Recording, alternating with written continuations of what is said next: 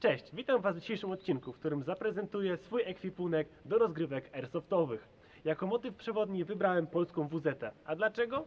Ze względu na jej dostępność oraz na to, że od dziecka żywiłem sympatię do polskiego wojska. Na wstępie chciałem zaznaczyć, że nie jest to żadna rekonstrukcja, ja po prostu chciałem mieć fajny, w miarę tani, wygodny i praktyczny szpej do gier airsoftowych. W tym filmie pokażę również ceny, w jakich nabyłem poszczególne elementy mojego szpeju, z zaznaczeniem, że były to ceny na dzień kręcenia odcinka. Koniec mojego gadania, zapraszamy do odcinka. Buty, jakich używam, to Benon Commodore Desert Light, sztywnie trzymające kostkę i zapewniające dobrą przyczepność nawet w złych warunkach. Jest to jeden z trzech elementów mojego ekwipunku, bez którego nie wyobrażam sobie iść na grę airsoftową.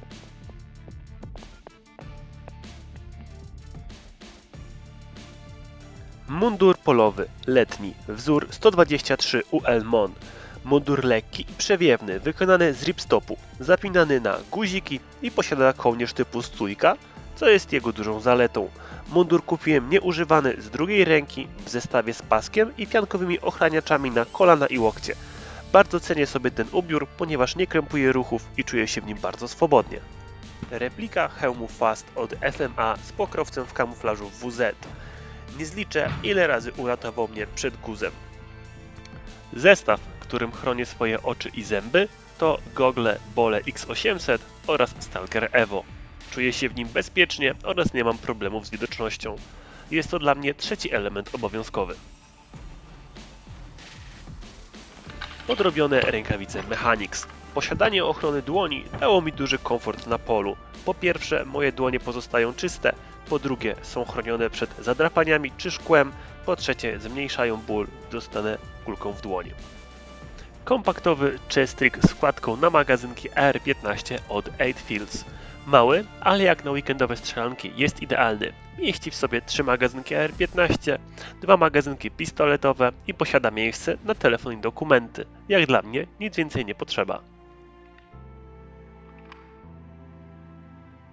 Jako boczniaka używam AAP-01 z zestawem magazynków od WE oraz kaburą Ammo Max. Niezawodności tej repliki dowiodły zawody Madball z poprzedniego filmu.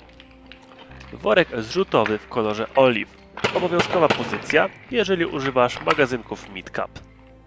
Moją repliką główną jest Specna Arms Edge 01, kupiona już dwa lata temu z drugiej ręki. Trochę w środku ją pozmieniałem.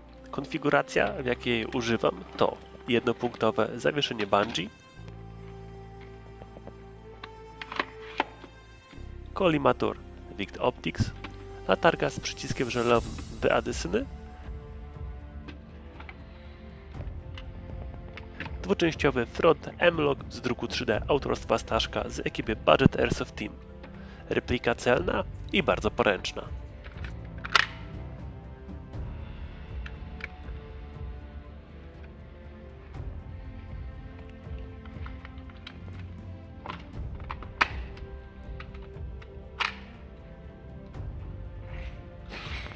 Łącznie, gdybym kupował swój sprzęt dzisiaj i naraz, wydałbym na niego ponad 3000 zł. Nie powiem, ta suma troszkę mnie zdziwiła, bo nie spodziewałem się, że aż tyle pieniędzy wydałem na to hobby.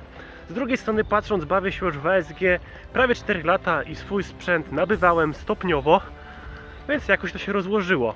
Jestem bardzo ciekawy, ile Wy i w jakim tempie wydaliście na swój szpej i czy w sumie w ogóle jara Was takie gadanie, ile kosztuje czyjś szpej, nie powiem. Ja dużo nie mam do popisywania się, bo nie jestem najpiękniejszym airsofterem na airsoftowych bataliach, ale jestem bardzo ciekaw Waszej opinii. Dajcie znać w komentarzu. Wielkie dzięki, cześć!